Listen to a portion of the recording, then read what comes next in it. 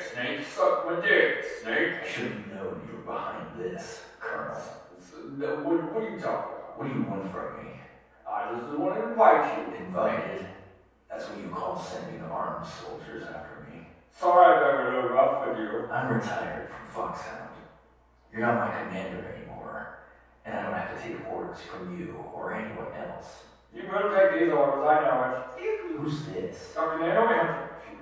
Are you military? Yeah, civilian. She's a cunt.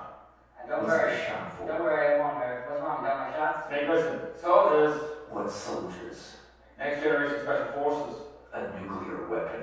Led by Foxhound, I'm afraid so. Foxhound hijacking uh, a nuclear weapon? Now you understand how serious this is. Those are some heavy duty hostages. I didn't even say anything.